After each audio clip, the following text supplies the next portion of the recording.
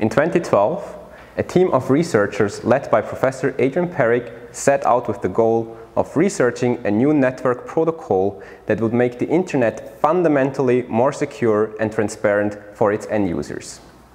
Fast forward to 2017 and Anapaya Systems is founded and we're transferring a lot of these research results to industry.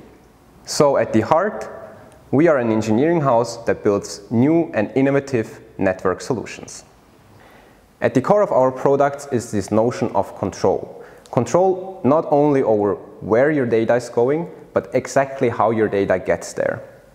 This has many interesting use cases. For example, it lets you choose an optimal network path for your video conferencing application to increase user experience, or it makes sure that your sensitive data stays within predefined jurisdictions and networks.